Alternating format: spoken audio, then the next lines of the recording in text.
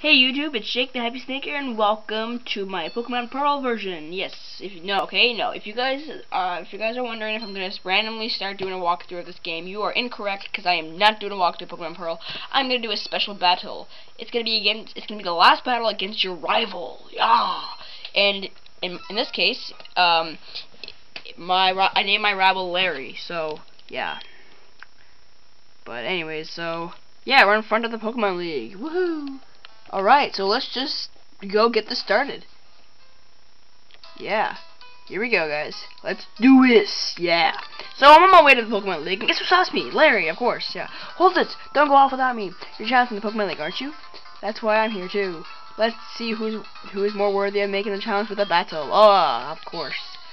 Alright, so you guys are gonna want to be like really like you guys are gonna want to be right. Oh man! No! The, oh crap! I forgot. I put Luxray in the for my party, but that was that was a dumb move because because crap. Because if I use an electric move, he's gonna use U-turn. Then he's gonna switch out to Torterra. I meant to switch up my Pokemon. Crap. Darn it. Fine. I'm not gonna use an electric move. I'll use Crunch because he's gonna use U-turn. Oh what? Oh my gosh! I thought he was gonna use U-turn. Oh my gosh, oh my goodness, oh my gosh, okay, well. Well, well, that was, well, that's great. Yeah, that's, that's awesome. That's awesome.